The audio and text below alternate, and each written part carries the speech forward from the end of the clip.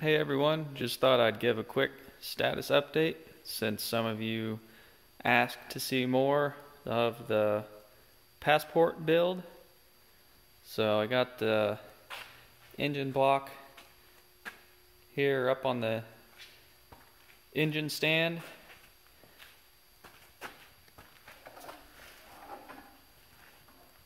But I'm not quite ready to start putting that back together yet. Right now, I'm working on some of the miscellaneous stuff. Like I got this upper half of the intake manifold put back together with all the miscellaneous pieces like the EGR valve and that's ECU, throttle body, um, idle air control valve, different things like that that I took off so I could get this cleaned up. And then here's the lower part of the intake manifold.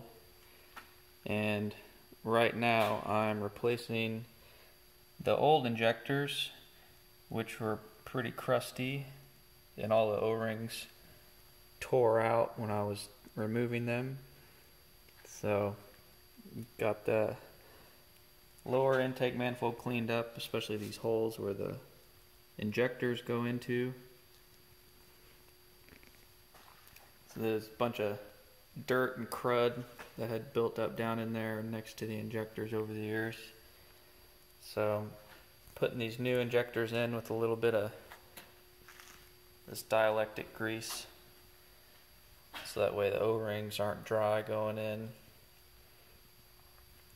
And then I'll flip that fuel rail over and fit it down here on this lower manifold.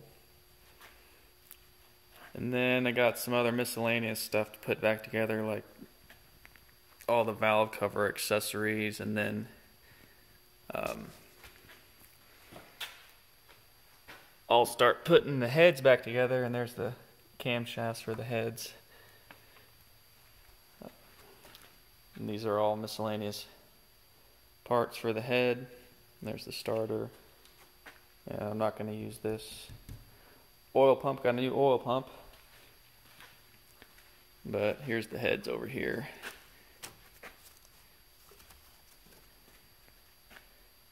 Got the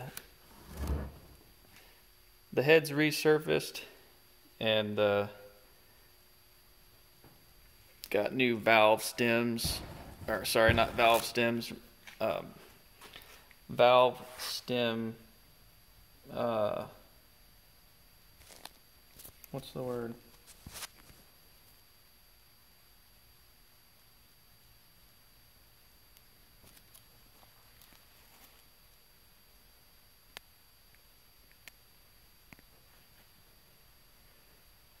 Valve stem seals is the word I'm trying to think of.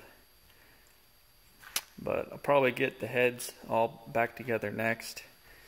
So that way I can have both these tables cleared off and then start assembling the block. So let me know if you want to keep seeing more updates like this. And see you guys later.